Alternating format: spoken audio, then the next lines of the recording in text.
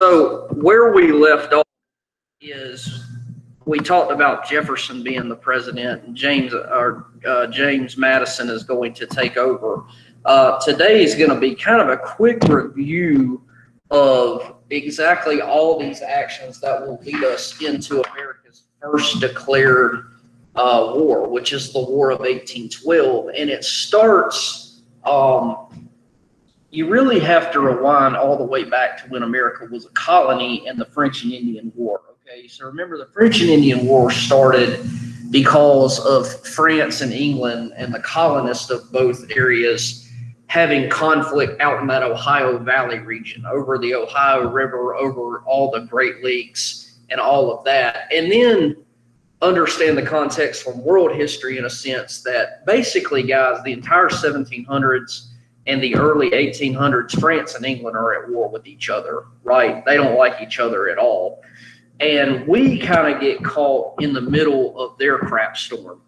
Okay, so we have to be able to assess commercial, what economics and diplomatic relationships with Britain and France, with us, and what's going on with them and each other.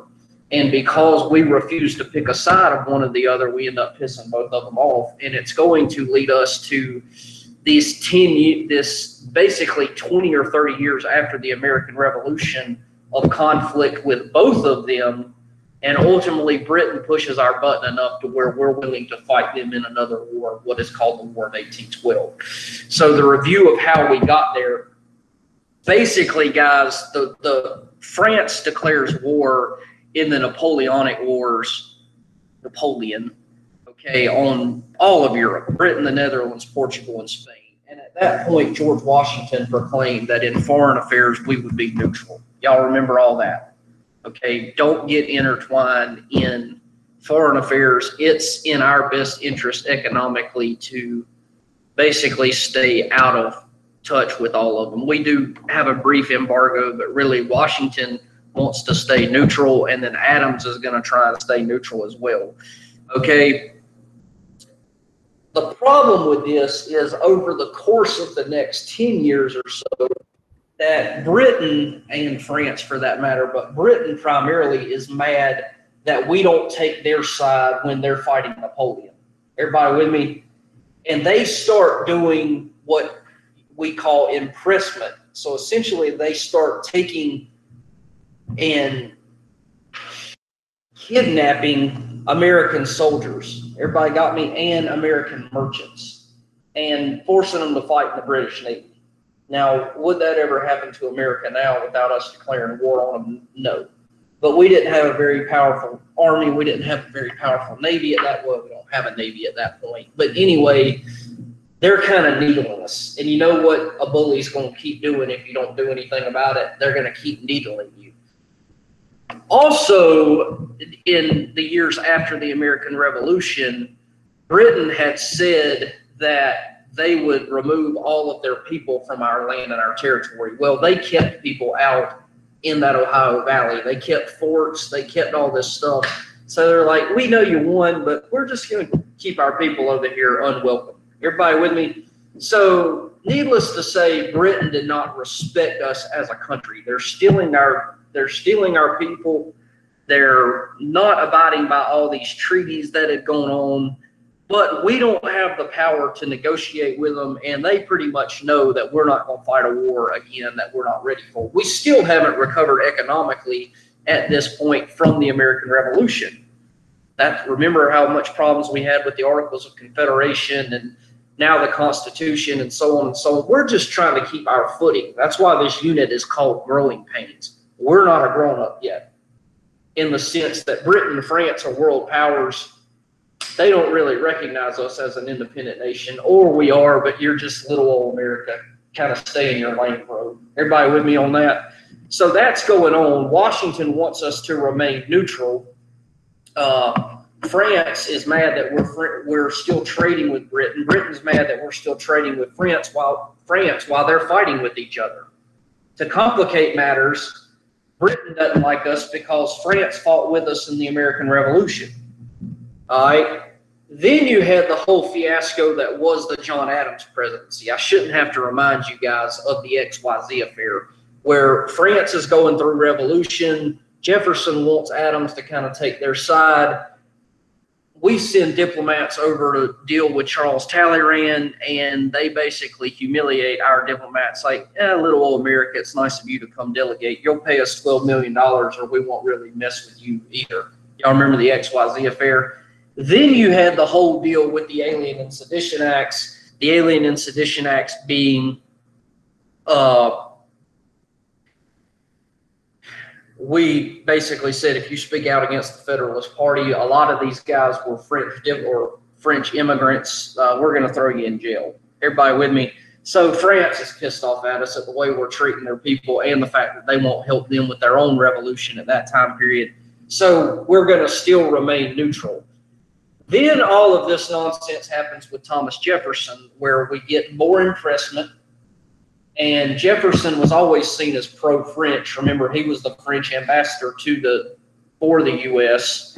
Uh, during his time as during the American Revolution, and then was considered pro-French. Well, so the British already hate Jefferson. They've hated him for 20 years at this point. Everybody with me?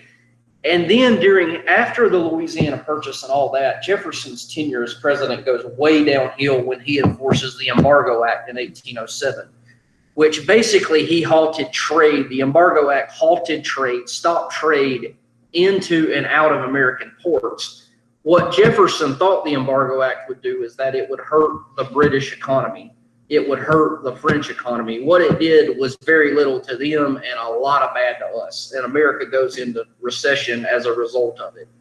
Okay, so the Embargo Act is terrible. Jefferson tries all of these peaceful measures to improve it, but by the time he leaves office and his Secretary of State, James Madison, wins the presidency, we've pretty much gotten to a point where we have to stand up to the bully.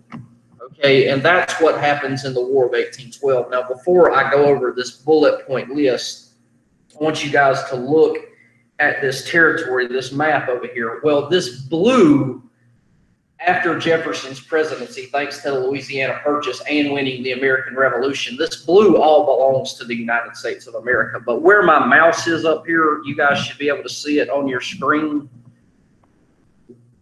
like this area right here in, in what we call the Ohio Valley, the British never really left there. Okay. And then up here in the green, Britain still owned. Okay. So Britain, we're going to have friction with them regardless because they're still on our continent. And at this point, a lot of Canada is still British controlled. Okay. Well, couple that with this idea after the Louisiana Purchase that the United States gets this idea that we we believe in manifest destiny that all of this from the Atlantic Ocean to the Pacific Ocean should be ours.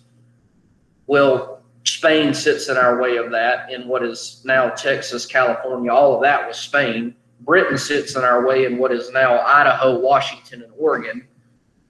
You guys get the drift. So eventually, guys, when the little brother let's say I want the whole floor in my house, but the little brother has a room. If I eventually want the, the whole upper floor of my house, I got to kick the little brother downstairs.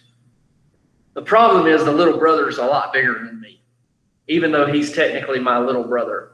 Or in this case, is if I'm the little brother, I got to get the big brother downstairs. We ain't got the we ain't got the actual girth to fight the big brother now. Y'all understand what I'm saying? Then I want you guys, so we decide that we want to gain the entire, what is now the United States through this manifest destiny. And Madison decides that the bully has bullied us long enough. And you guys, if you know anything about a bully, what do you eventually have to do to the bully? You got to punch him in the face, right?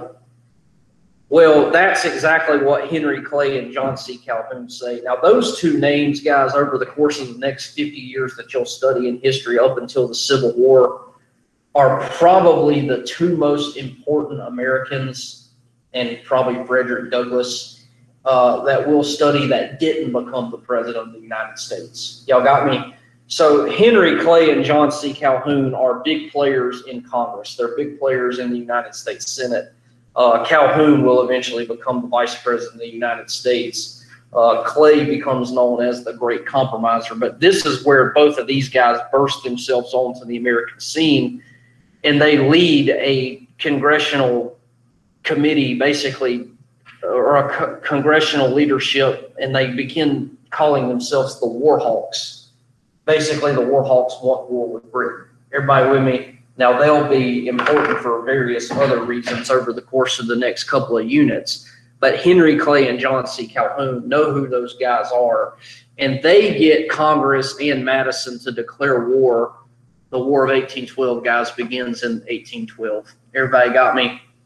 And it was fought over basically, everybody says, why was the War of 1812 fought? It was fought over this territory or this friction. It was basically fought because Britain had pissed us off for the last 30 years, and finally we just had enough of it. Everybody with me? Now, two things that I really need you to know about the War of 1812. The Treaty of Ghent ended it. We did not win the War of 1812. It was essentially a stalemate. Everybody with me? It was essentially a stalemate. Um, the problem is, and it's hard for all of us to understand because if a war ends, even in my lifetime, I knew it by the end of the day with the local news. You guys know it on Twitter, any type of news. Well, the Treaty of Ghent happened. The war had happened. Well, a week or so later, the Battle of New Orleans is fought. And while it all, why it always seems like America won the War of 1812 is because the Battle of New Orleans took place after it was actually over and it was a huge American win. And really, the first American war hero since George Washington takes root, and it's a guy named Andrew Jackson. He, General Andrew Jackson, he leads American troops to a major victory at New Orleans.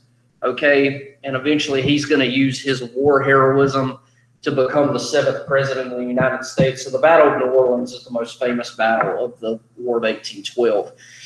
Who won? Nobody won. Basically, everything, the consequences were that U.S. and Great Britain agreed to return land boundaries to where they were before. So basically, a bunch of killing over nothing.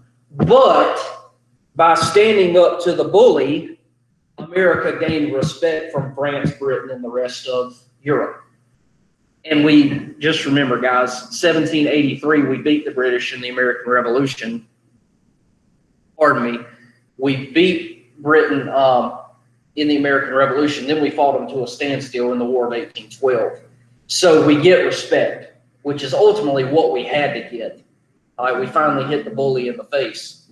And our nationalism, as a result, there became an increased pride in being American uh, that we could fight anybody on the block. We were now, uh, as a result, go to that last bullet point.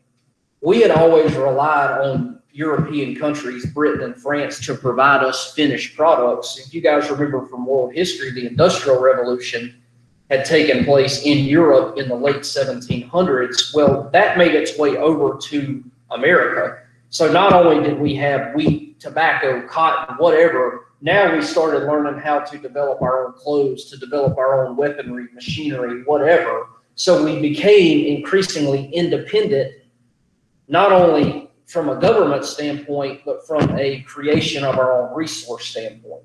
Okay, so we became more financially independent without having to rely on Britain as a result of the War of 1812. And it's going to create this era of good feelings that we talk about. And what the era of good feelings was was nationalistic pride, and really we only had one govern one party lead. The Federalist Party is dead after Adams did the Alien and Sedition Acts. When Jefferson wins, Madison wins, and then James Monroe wins, the Democratic Republicans are going to control the presidency uh, for basically 20 years. Everybody with me? 24 years from 1800 to 1824. Kind of my last slide, just some quick things that, you know, fun facts. The national anthem, people think it was written as a result of the American Revolutionary War. It was actually written as a guy named Francis Scott Key sat on a boat or a boat and he saw Fort McHenry being bombed uh, in Baltimore uh, the, the bombs bursting in, in air, the rocket's red glare, the Star Spangled Banner was written as a poem during the War of 1812. Also, the White House was burned down during the War of 1812. The White House that stands today is not the original White House.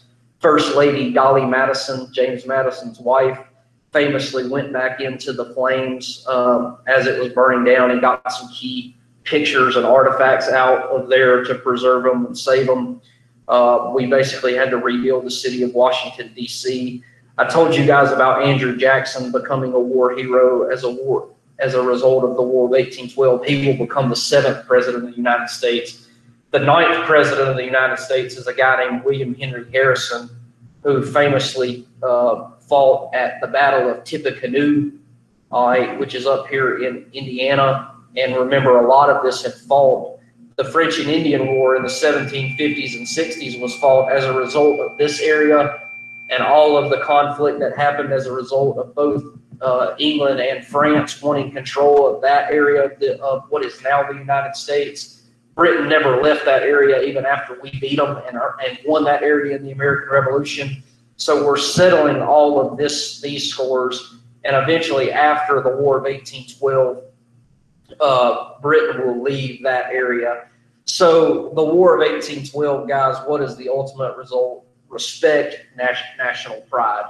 That's why it's important. Now I'm going to show this crash course video of John Green, and I'm going to show it through the screen. So make sure you pay attention. Let me stop.